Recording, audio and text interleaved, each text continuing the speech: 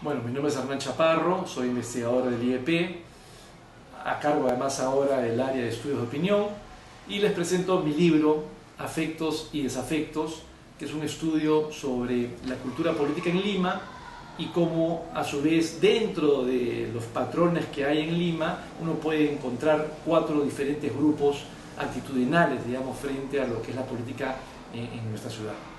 ¿Terminan los limeños siendo todos a favor de la mano dura o no?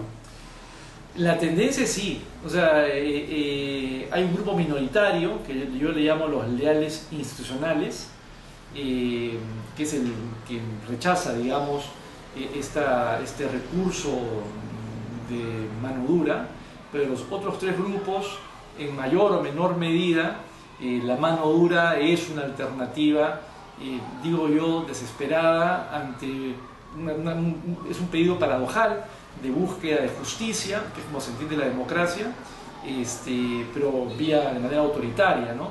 Entonces esa es la gran paradoja de nuestra cultura política. ¿Qué separa a los jóvenes de ser o críticos o renegados?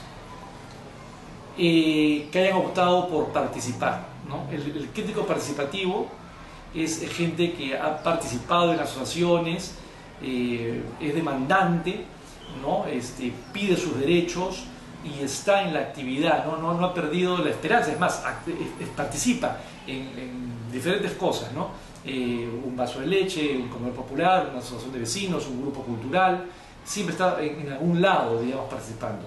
lo que yo le llamo renegado insatisfecho es alguien que no le gusta participar en nada, ¿no? Es más, la verdad, frente a los otros grupos, es el más individualista finalmente.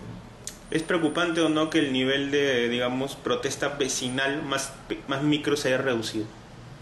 Sí, es preocupante porque parte de, digamos, de las eh, alertas que pone la investigación es que no solamente nuestro sistema político, los congresistas, los partidos están en crisis, sino que también hay una pérdida del tejido y de la participación asociativa en este mundo vecinal, de solidaridad, los niveles de desconfianza son altos, ¿no? En las dinámicas grupales, gente que te decía que no confiaba en nadie, prácticamente que ni en su familia.